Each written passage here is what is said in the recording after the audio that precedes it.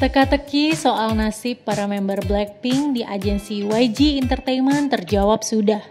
Dalam pernyataan resmi yang dikeluarkan pada hari Jumat 20 Desember 2023 tersebut, YG Entertainment mengonfirmasi bahwa Jennie, Lisa, Jisoo, dan Rose tidak akan memperpanjang kontrak individu di agensi tersebut.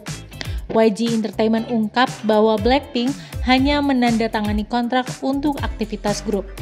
Meski begitu, pihak YG Entertainment mengatakan akan tetap mendukung seluruh kegiatan individu masing-masing member Blackpink di luar aktivitas grup.